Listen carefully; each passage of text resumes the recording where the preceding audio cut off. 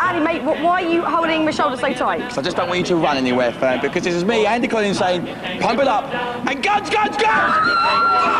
Hey, well, for once, I am happy to be stuck up in my box in the studio roof. Well, what a series. We've seen thrills, spills, and gunge, and we've seen the handy bandits claim the holiday to Australia. Whew, I'm off for a good lie down. See you next time.